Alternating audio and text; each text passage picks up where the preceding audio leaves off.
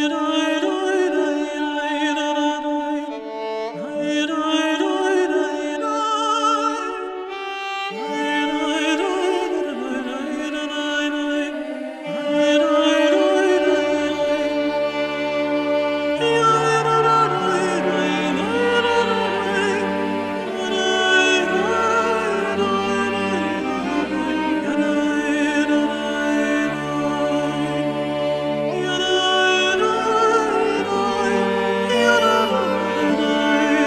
जैसा कि आप लोग जानते हैं कि आज पुलवामा में टेररिस्ट अटैक हुआ और उसमें तकरीबन 50 सोल्जर्स हमारे मारे गए। उसी के लिए आज जो हमारा धरना चल रहा है पिछले तीन दिनों से अलीगढ़ मुस्लिम यूनिवर्सिटी के अंदर, उसी पे आज हम लोगों ने एक कंडोलेंस मीटिंग रखा उनके लिए और सारे लोगों ने यहाँ पर सारे स्टूडेंट इकट्ठा होकर उनको कंडोलेंस पेश की।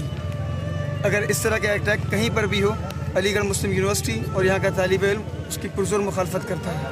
नसीर अहमद साहब जो उसको लीड कर रहे थे जो कमांडर थे वो उनकी लीडरशिप में जो चल रहा था ऑपरेशन उसमें तकरीबन 50 लोग शहीद हुए। कल जुमा की नमाज़ हम लोग यहीं पढ़ेंगे जहाँ पर हमारा प्रोटेस्ट चल रहा है।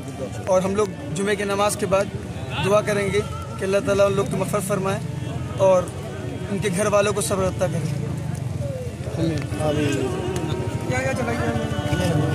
क्या क्या चलाइए नीचे रखते